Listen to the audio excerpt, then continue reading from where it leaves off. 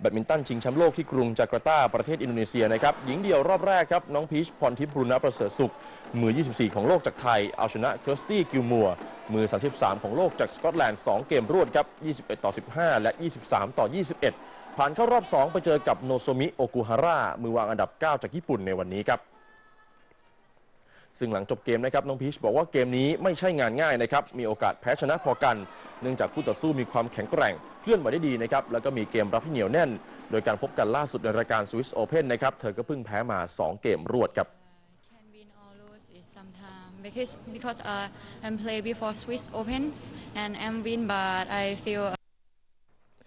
ส่วนชายเดี่ยวรอบแรกนะครับ เจ้าสองธนงศักดิ์แสนสมบูรณ์สุขมือ 22 ของโลกจากไทยครับ เอาชนะราจีฟโอเซฟ มือ 19 ของโลกจากอังกฤษ 2 เกมรวดนะครับ 21 ต่อ 16 และ 21 ต่อ 12 เข้ารอบ2ครับไปพบกับดีเร็กว่อง มือ 47 ของโลกจากสิงคโปร์ครับ ส่วนหญิงคู่รอบแรกนะครับ จงกลพันธ์กิติธารากุลกับรวินดาประจงใจ คู่มือ 32 ของโลกจากไทย เอาชนะแคทเธอรีนวินเดอร์ กับลูสมาเรียซอนโนซา